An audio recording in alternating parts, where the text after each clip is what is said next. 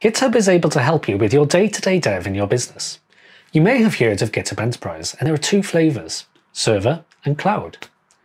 GitHub Enterprise Server is a version that you host, run, and maintain on your infrastructure, whereas GitHub Enterprise Cloud is hosted, managed, and maintained by GitHub.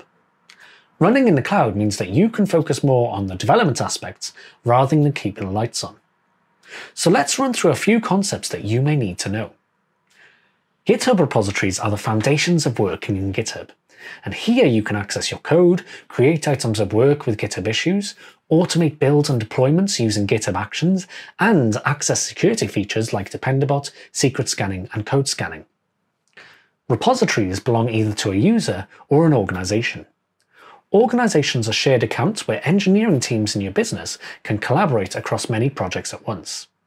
Think of it as a container for all of the work that you do, but what if you're a large enterprise and need to manage multiple organizations? This is where an enterprise account comes in in GitHub Enterprise Cloud. Enterprise accounts help you manage all of your organizations from a single pane of glass.